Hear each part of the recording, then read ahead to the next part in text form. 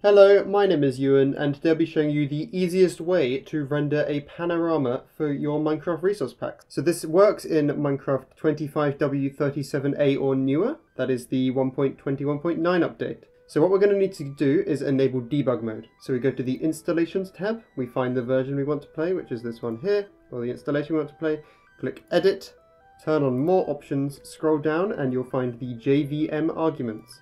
If we go to the end of this, I already have the stuff here, but I'm going to copy all of this and put it into a text editor so we can see it all. These last two options normally are not there, so you just copy everything out so you can see all of them here, and then at the end you want to do a space and then add these two options. So it's dash D, MC for Minecraft, so Minecraft underscore debug underscore enabled. So you want dash D, MC underscore debug underscore enabled, and that enables debug mode.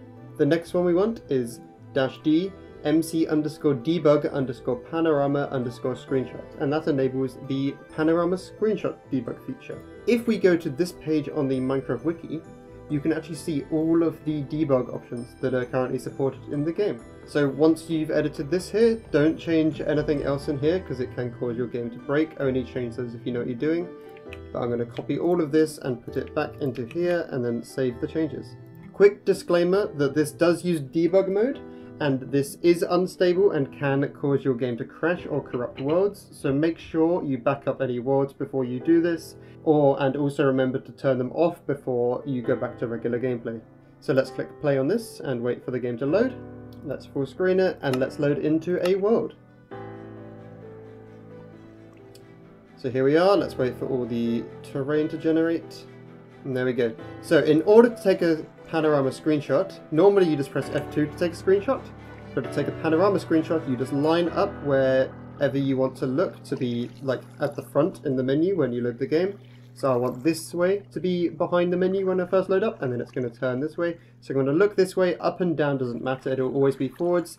And instead of pressing F2, I'm going to hold Control and then press F2. You'll see it says saved screenshot as .minecraft. That message doesn't work properly, but if you go to your screenshots folder, you will see you now have five panorama screenshots. These will always save to your screenshots folder with the same names. So make sure that you don't have any old screenshots in here you want to keep. Make sure they're backed up first because any new screenshots will overwrite the old ones. You see if I do it again, if I face this way, it's replaced those with that one. So let's go back and do that again to get the ones I want. Go in here and then I'm going to copy all of these and I'm going to move these into my resource pack. I have set up a template resource pack quickly. So in my resource packs, I've called it Panorama Test. In here, I'm going to go to Assets, Minecraft. I only need the Textures folder. I only need the GUI folder. I only need the title folder. And I only need the background folder. And then in here, I can delete everything and then add in these panoramas. So in your resource pack, these go in the Assets, Minecraft, Textures, GUI, Title, Background folder. And then you don't need to rename them at all because the game has given them to you in the right format. So if I go back to the main menu, you'll see I currently have this default panorama from the 1.21.9 update. But if I go to Options, Resource Packs, I can use the new search bar to uh, search for it, but it isn't showing up. I have probably made a mistake in my pack.mcmeta file. Okay, I figured it out. The description is required. It's not optional in the pack MC meta, so in your resource packs, just make sure you have a description as well as the uh, new min format and max format, and that way they'll then show up in game.